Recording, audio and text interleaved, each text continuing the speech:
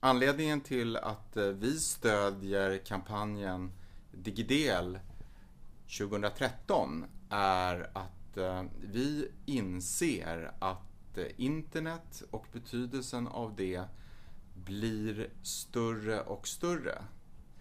Ehm, tidigare så pratade man om att man var IRL, in real life, när man inte var på internet. Det där förefaller lite konstigt idag. För idag är de allra flesta människor på internet och det är i allra högsta grad verkligt. Och det gäller att skapa så goda förutsättningar som möjligt för alla att kunna delta. Och då kommer man in på frågor om användbarhet och tillgänglighet som är sånt som Handisam jobbar väldigt mycket med.